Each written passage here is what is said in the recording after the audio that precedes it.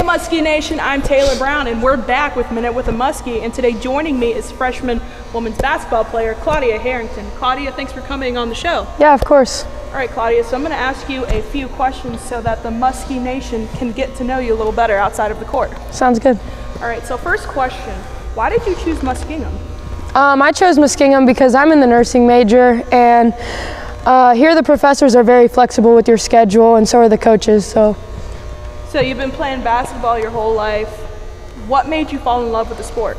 um, honestly, I've just had a basketball in my hand since I've been little, and I just wanted to continue that here. So, so far you're a freshman here. Um, what has been your favorite Muskingum memory? Um, one of my favorite Muskingum memories is probably going to Kate and Kenzie's house and having team dinners some nights.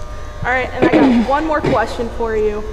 Outside of the basketball court, what is one thing that people don't know about you? Hmm. Probably my Dunkin' order. It's an iced French vanilla coffee with cream.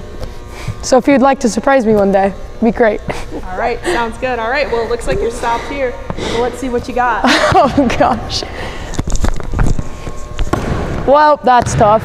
well, thanks for coming on the show, and good luck this season. Yeah, thank you. Go Muskies. Go skis.